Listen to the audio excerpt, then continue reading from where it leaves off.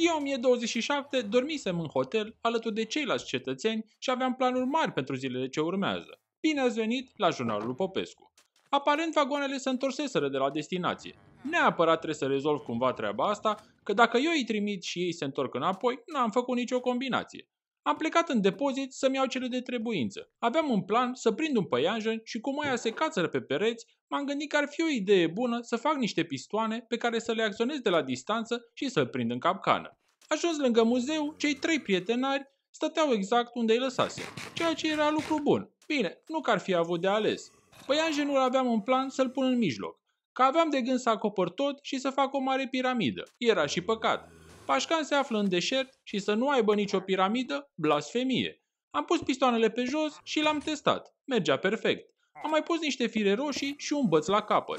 Am înălțat cu niște geam și planul era destul de simplu, cel puțin în teorie. Atrăgeam păianjenul spre mine, el mergea bine mersi peste pistoane și pac trăgeam de băț și îl prindeam în interior. Ziua 1028 am luat micul dejun cu mătușa Dana și când să cobor în depozit, un vecin cu arcul m-a așteptat de mi-a sărit inima din loc. De panică i-am făcut felul, fără să mă gândesc la consecințe. Clopotele au început să bată, lumea fugea panicată, începea războiul. Mai trecusem prin așa ceva, acum sute de zile, doar că pe atunci aveam zeci de oameni albi pe afară și nu a fost foarte complicat.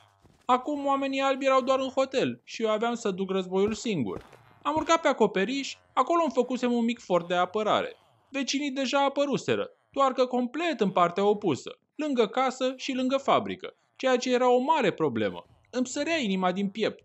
Pupilele cred că erau maxim de dilatate. N-am avut ce să fac și am sărit în primul copac. I-am făcut felul 1 și am coborât să trimit un cetățean în Miramar că stătea singur în mijloc și sigur o mierlea. Nu-mi doream să mă apropii prea mult, că îl știam pe ăla cu toporul. Era nevrotic rău de tot.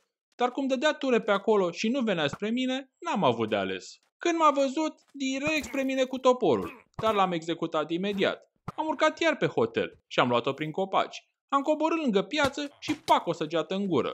L-am făcut imediat. Și la scurt timp și pe celălalt. Alți trei arcași au sărit pe mine, dar n-au fost o mare problemă. Valul următor avea să înceapă. Am fugit repede în hotel și când se închid poarta, doi au ieșit numai decât. Dar n-aveam ce să le fac prea multe, să sperăm că au noroc.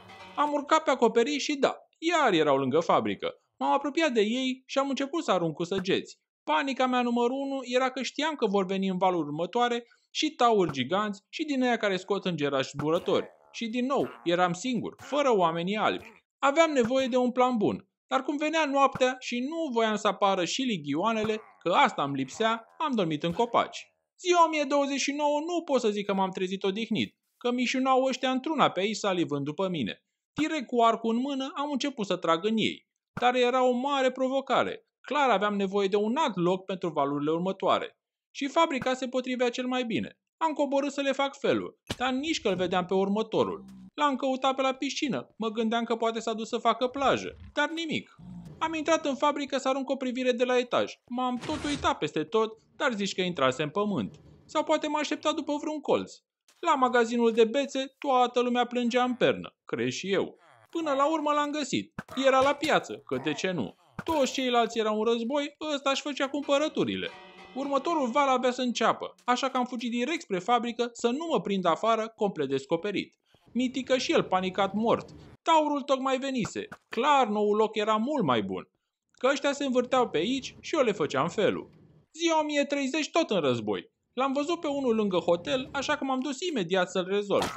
Cum eram cam departe de fabrică, m-am decis să urc pe acoperiș. Era haos în zare. Adusese răpăia care aruncă cu poțiuni. Am fugit prin copaci și am început să trag. O mierleau fără număr. Nu puteam să cobor să fug în fabrică, că dacă aruncau ea cu poțiune în mine, adio Popescu. I-am terminat și alt val avea să înceapă. Inima îmi bătea puternic, că știam că o să vină cât de curând ăia cu îngerași. Și sunt teroare, nu glumă. Așa că m-am dus direct pe cel mai înalt nivel din fabrică, că speram eu să pot să trag în ei și ei să nu dea cu îngerași în mine. Planul mergea destul de bine, deși doar o bucată dacă îmi prindea, cădeam în mare gol, direct în mijlocul lor. Speram din toată inima să nu se întâmple asta. Blocați la grămadă, am cărăbănit săgeți fără număr. Mai rămăseseră doar doi, dintre care unul fix din ăla cu magii, așa că să cobor era complet exclus, chiar dacă îmi lua 10 zile să-i dovedesc. Lui Popescu nu e rușine să facă din astea. Important e să-ți iasă, chiar dacă metoda nu e cea mai curajoasă. Oricum, nu curajul era ce mă caracteriza cel mai mult, așa că n-aveam de pierdut. Ziua 1031 tot după la cu arcul, dar avea o viteză băbăiatule de nici nu-ți venea să crezi. Dar oricum, de coborâ la el, nici nu mă gândeam. Până la urmă l-am dovedit și iar un val, iar altă distracție, iar săgeți fără număr. Locul era aproape perfect. Cum nu mai vedeam niciunul, am fost în spatele fabricii și da, erau fix acolo. Când îl văd, fix pe ăla cu magii ridicând mâinile. M-a luat capul. Știam că nu era bună, dar l-am făcut să tacă repede înainte să scoată dubioșenile. Următorul val a apărut fix în grădina cu pisici, lângă hotel, pe semne că începusele să se prindă și să schimbe strategia. Când ce să vezi? Patru îngerași zburători venind direct spre mine. Am fugit repede și am scos sabia. Ce să-i nimerești pe ăștia cu arcul? Că vin de unde nu te aștepți, inclusiv prin podea. O plăcere. Și unii aruncau și cu foc. Încărăbăneau bucăți în continuu și nici nu păreau că se lasă. Mă luaseră toate transpirațiile. Până la urmă s-a oprit, nu îmi venea să cred. La hotel era haos. Era inclusiv un tower în grădină. Am început să trag cu săgeți de la distanță. Nu aveam cine știe ce opțiuni. Ca să mă duc acolo, nicio șansă. Știam că hotelul era plin de oameni albi, așa că eram parțial liniștit. Panica maximă era să elimin pe ea cu magii, că dacă iar trimit îngerași, nu o să fie a bună. Am început să elimin unul câte unul. Ziua 1032 nu mai era nimeni, semn că oamenii albi din hotel își făcuseră treaba pe timp de noapte. M-am uitat cu atenție să nu fie vreo țeapă și să mă prindă la cotitură. Până la urmă am ieșit și eram atent la orice adiere de vânt. A început să plouă. Am luat-o prin lateral, era o liniște ca de mormânt și îmi țineam respirația. Nu vedeam pe nimeni la parter, nici vecinii, dar nici cetățenii. Am urcat la etaj. Totul era gol, doar niște oameni albi mai erau. Nu mai era nimeni în viață, absolut nimeni. Incredibil ce se întâmplase, inclusiv Georgică. Nu venea să cred, era cea mai tristă zi din Pașcani. Pentru cine mai scot eu apa din monument dacă Georgica al meu nu mai e? Am fost la cimitir să fac locurile de veci. Eram în stare completă de șoc. Primul am făcut pentru el și am ținut moment de reculegere.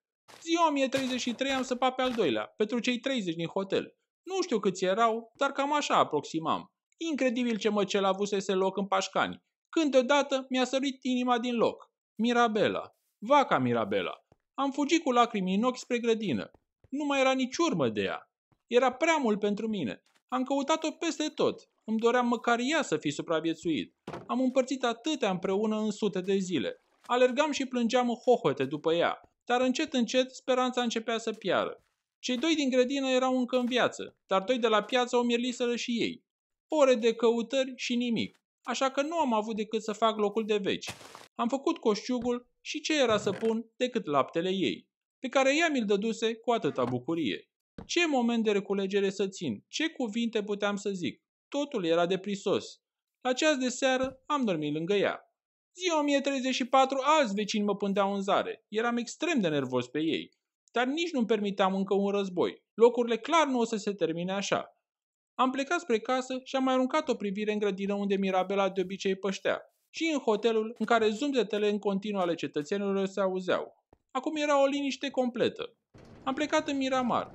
Bine că construisem cartierul și toată lumea părea în regulă. Le-am dat vestea despre ce se întâmplase și era toată lumea șocată. M-am întors la capcana pentru păianjen, să continui proiectul. Dar ce chef să mai ai după o astfel de tragedie? Așa că am plecat în casă și am stat uitându-mă în gol și gândindu-mă la Mirabela, la vaca Mirabela.